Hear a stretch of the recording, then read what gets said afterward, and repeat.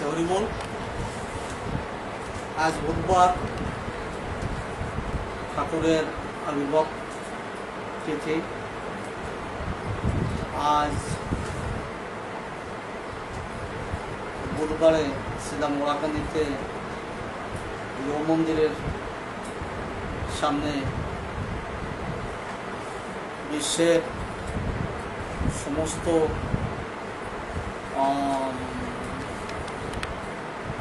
আম, গোষ্ঠীর প্রতি বাঙালিদের প্রতি বিশেষ করে শ্রী শ্রী হরিগুরুচাঁদের ভক্ত মতুয়া ভক্তদের প্রতি রইল আমার শ্রদ্ধা ও ভক্তিপূর্ণ প্রণাম এবং শুভকামনা যেহেতু আজকে আমরা সারা বিশ্বই সবার একটা ভীতির মধ্যে আমরা ক্রান্তি লগ্ন বলে চলে, আমরা কাটাচ্ছি যেহেতু আপনারা জানেন,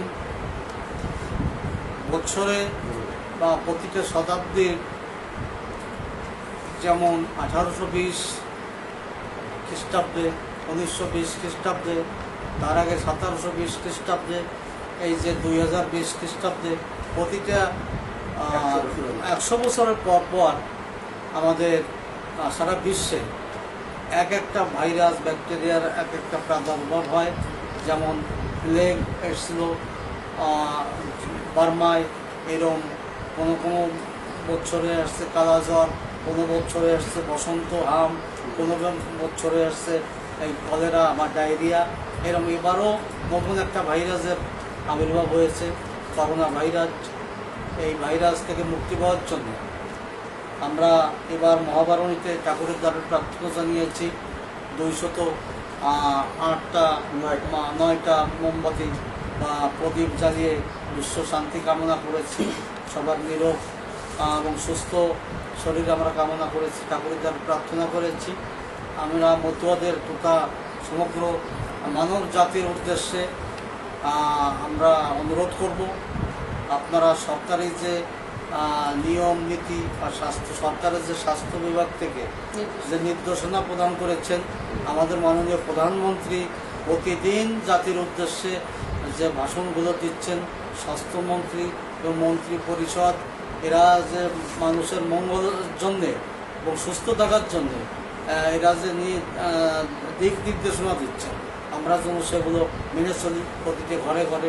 যেহেতু এখন মিডিয়ার যুগ, সবার ঘরে আমাদের প্রচারের মাধ্যম, টেলিভিশন, রেডিও, আমাদের মোবাইল আছে, এর মাধ্যমে আমরা জানতে পারছি। বিশেষ করে আমরা যারা যারা কর্মব্যস্ত, আমরা প্রতিদিন কিছু না কিছু কাজে আমরা ব্যস্ত থাকি। আমরা যেন ঘরে ঢোকে, ঢোকার সাথে সাথে আমরা হ্যান্ড ওয়াশ বা যে কোনো সাবান দিয়ে আমরা হাত পরিষ্কার করি পা দৌত করি আমাদের পোশাক পরিচ্ছদ আমরা যেন পরিষ্কার পরিচ্ছন্ন রাখি। বাড়ির আঙ্গিনা বা বাড়িও যেন আমরা সবসময় পরিষ্কার পরিচ্ছন্ন রাখি যাতে কোনো জীবাণু যেন আমাদের বাড়ি এটা না জমতে পারে। বিশেষ করে বর্তমান সিজনটা ডেঙ্গুরও প্রভাব প্রতি বছর আসে। এবার ডেঙ্গু যাতে আমরা ডেঙ্গুর থেকেও সাবধান থাকতে হবে। একটা জিনিসের দমন করতে যে আর একটা জিনিসের জন্য প্রা- প্রাদুর্ভাব না হয়, সেই দিক দিয়েও আমাদের লক্ষ্য রাখতে হবে। সে কারণে আমরা অনুরোধ করব, সবাই যেন আমরা সচেতন থাকি এবং সরকারি নির্দেশনাগুলো আমরা মেনে চলি। এটা শুধু এক দুই দিনের জন্য না, আমাদের সব সময় মানব জাতি আমাদের সুস্থ থাকার জন্য যেমন পরিষ্কার পরিচ্ছন্নতা থাকার আমাদের উচিত। গুরুচান ঠাকুর বলতেন যে আমরা অল্প দামি পোশাক পরো কিন্তু পরিষ্কার পরিচ্ছন্ন রাখতে হবে। সেই জন্যে আমাদের প্রতিটা পোশাক, যেমন জীবাণুনাশক যেমন আমাদের যে ডেটল সাবান বা ডেটল বা আমাদের লাইফ বয় সাবান ব্যবহার করতে হবে। যে কোনো সাধারণ সাবান ব্যবহার করে যেন আমরা হাত পরিষ্কার করতে পারি, আমাদের জামা কাপড় পরিষ্কার করতে পারি, ঘরে ঢোকার সাথে সাথে বাথরুম বা আমাদের ঘাটে যে, অথবা আমাদের কল, কলতলায় যে আমরা পা ধৌত করি। এবং আমাদের খাদ্য যেগুলো তৈরি হবে, সেগুলো পয় পরিষ্কার। জন্য আমরা ভাবে আমরা পরিচ্ছ- পরিচ্ছন্নভাবে পরিষ্কার করি, আমরা রান্না করি, আমরা ঘরে ঢোকে। মাঝে মাঝে আমরা যেন গরম জল দিয়ে গলা গড়গড়ি করি, আমরা যেন চা, বিশেষ করে আমরা হালকাভাবে লাল চা যেটা হওয়া চা বলে, আমরা বারে বারে চা খাইতে হবে।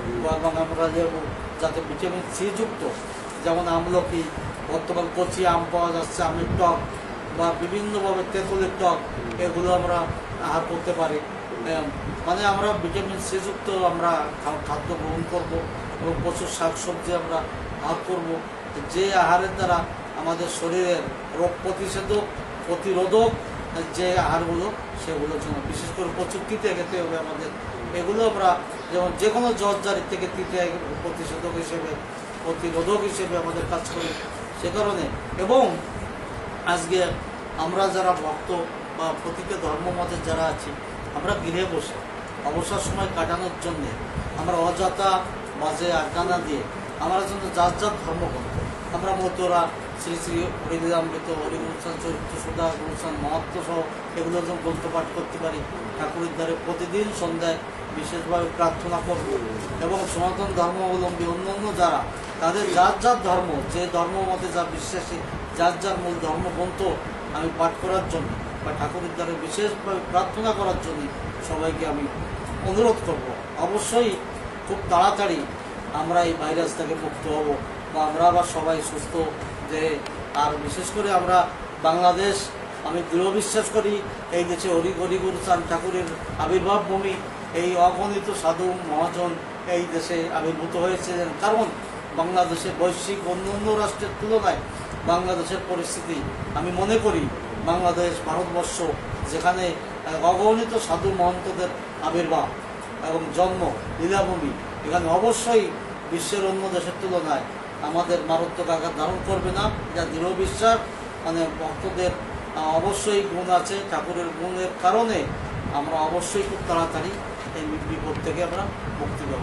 এই কথা বলে সমস্ত ভক্তমহল মানব জাতির মঙ্গল কামনা করে, সবার সুস্থ দেহ কামনা করে সবাই খুব তাড়াতাড়ি আমরা যাতে, যাদের ভিতর এই ইতিমধ্যে রোগ আক্রান্ত হয়েছেন এবং যাদের ভিতর অল্প হলেও এই ভাইরাস আক্রান্ত হয়েছেন বা যারা মৃত্যুবরণ করেছেন, তাদের আত্মার শান্তি কামনা করি এবং আমি আশা করি যে আর যাতে আমরা যেন সচেতন হই আর কারও আমাদের দেহে যাতে এই ভাইরাসটা আক্রান্ত না হয়, এই জন্য আমাদের সচেতনতা আমাদের গ্রহণ করতে হবে। এই কথা বলে সবাইকে আমার মঙ্গল কামনা করে আমার শ্রদ্ধা জানিয়ে শেষ করছি। ধন্যবাদ। এর ভিতর থেকে এই সম্পাদনা করে দিও।